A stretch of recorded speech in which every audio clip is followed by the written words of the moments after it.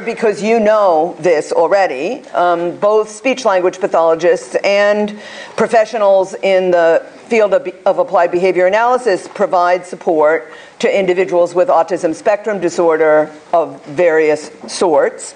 And um, these are two professions that really ought to work together pretty collaboratively. Uh, there's not a whole lot of reason for people in the two professional areas not to, but, um, but failure to collaborate effectively is unfortunately uh, not a small problem and um, not a BC problem. Um, at the uh, conference of the Association for Behavior Analysis International this last May, there were um, there were several sessions on SLP ABA collaboration, and as our keynote speaker will tell you, um, this is certainly not um, not a problem confined to British Columbia and Canada. She's from Ontario and may tell you a bit of the Ontario story around this as well. So this is, it's not just a local issue. Um, clearly, it's an issue that we need to deal with, though, because it's unacceptable for uh, two groups of people, both who have very meaningful skills, to offer kids with autism and their families to not be working together as well as they might. So there's a real need um, for mutual collaboration to, to, um, to uh, facilitate interactions that are positive and production, productive and, um, and respectful. And that's kind of where the CIRCA comes in. Um, the Center for Interdisciplinary Research and Collaboration in Autism at UBC was established in 2009, and its mission explicitly is to support research and professional capacity building efforts that will improve the lives of individuals with autism spectrum disorders, their families, and the communities in which they live. And the CIRC is supported by a number of affiliates from local um, uh, post-secondary uh, institutions, uh, government agencies, um, and so forth, also an advisory board and a steering committee. Um, and so the, the issue of um, difficulty with collaboration between SLPs and people in the professionals in the area of applied behavior analysis came to the attention of those of us who are in the CIRCA, and um, it seemed quite reasonable that we do something about it or try to do something about it because one of the CIRCA's mandates is to establish and maintain interdisciplinary collaborative relationships among all of those people there, including community organizations and professional resource providers. So this falls completely within the CIRCA's mandate. So CIRCA, together with two other groups of people have planned this event for you today. And those other two groups of people, not who are by no by no means incidental, are um, the Autism Working Group of BCASLPA, um, and uh, representatives from BC ABA, the BC Association from Applied, for, for Applied Behavior Analysis, um, who came together to plan the event. And so I'd like to introduce these committee members to you. Some of them may not be in the room, but um, I'll come back to that later on. So the CIRCA folks who have been involved in the planning are May Bernhardt. Stand up when I you know, and wave. May Bernhardt, Paula Colozzo, who is our um, Cecil B. DeMille back there. Today we are videotaping this event. Laura Groh, who's on faculty here at UBC, um, and myself, along with uh, uh, support staff um, from CIRCA. B. BCASLPA folks are Mary McKenna. Mary, are you here? No, she's at the desk. Diane Milsom and Karen, Z- are you here? No. Okay, they're outside. And Karen Zacharias, they're still registering people people. And BC ABA folks um, have been Sharon Baxter, no, still busy, Miriam Elfert, and, oh, there's Miriam, and Richard Stock. So this is the group that has, for the last, oh gosh, now what, six, seven months, been meeting regularly to plan this event. And um, on behalf of all of these folks, I, I, I want to welcome you here today. Um, the goals for today are uh, pretty straightforward. Um, our goal for the event and all of the planning and the presentations that you'll find in the event have been geared toward these goals. Uh, the first is an increase to increase mutual understanding between SLPs and ABA professionals. In, in BC, these are called behavior consultants, about the scope of practice and the theoretical orientation of each profession with regard to supporting individuals with ASD. So two of the presentations today will be basically an orientation to what is speech-language pathology, what is applied behavior analysis, how are people in these professions educated, trained, what's their background and experience, what, what, what, what are the two professions all about. We, it's, the committee felt really strongly that it's very difficult to collaborate with each other if we don't actually know basic facts about each other's background. So that's the first thing.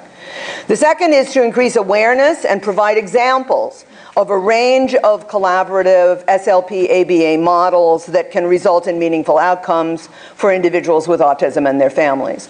So this afternoon um, on this stage will be a panel of uh, teams of SLP ABA professionals who talk about the different models within which they work for toward collaboration and give some, give some examples of how that collaboration has played itself out within the model. I think that will be a really important set of diverse examples about how we can work together productively.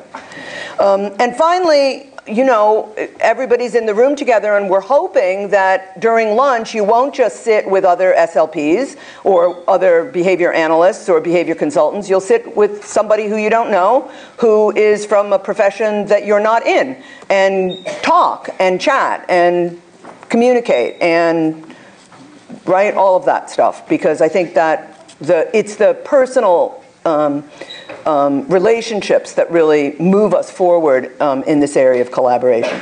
So those are the goals. There are also some non-goals, and I want to be very clear about what the non-goals are. The non-goals are these.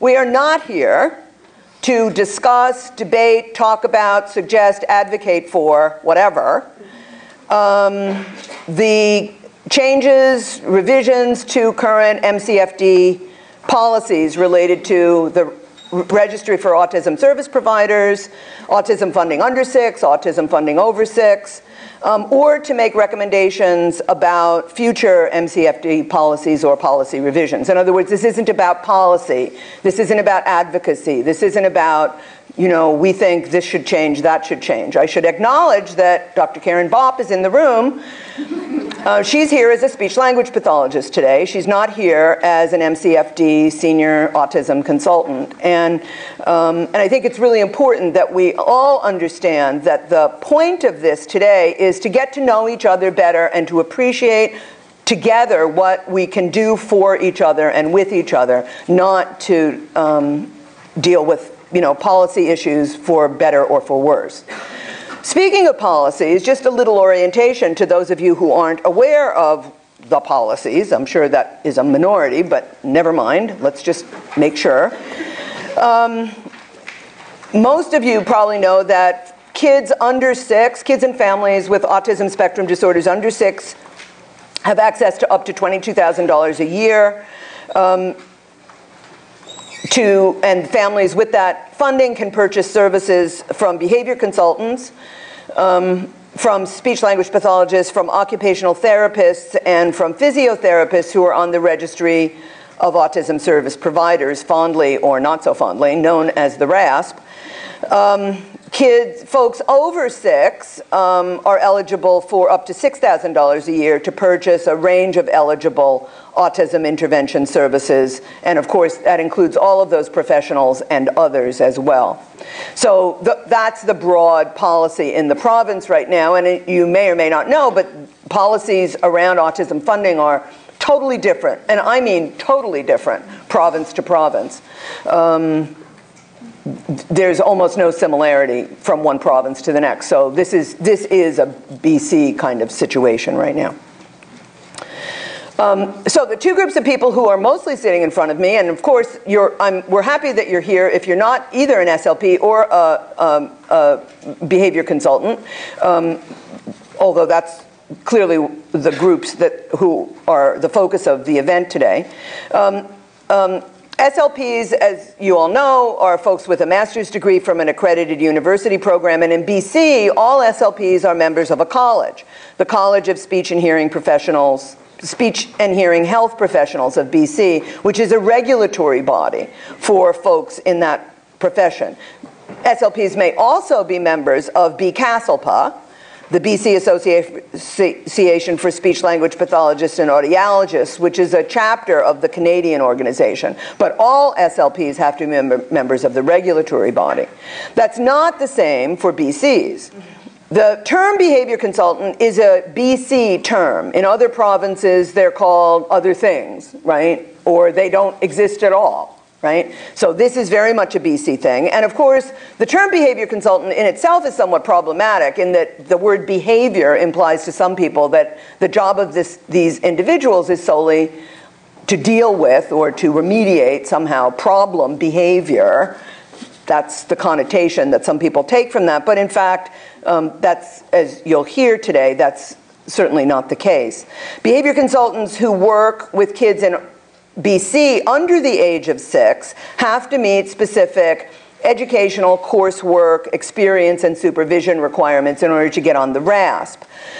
Currently, there are no educational coursework experience or supervision requirements for BCs who work with individuals with autism over the age of six, beyond being 19 and having a criminal record check. So the situation for BCs in the province is quite different than for SLPs. A BC may or may not have a graduate degree, may or may not be a credentialed behavior analyst, and we'll talk more about that credentialing later on, and may or may not be supervised or need to be supervised by someone with more training and experience while they practice. And there's no regulatory body in Canada or in BC for the group of professionals that we know as behavior consultants.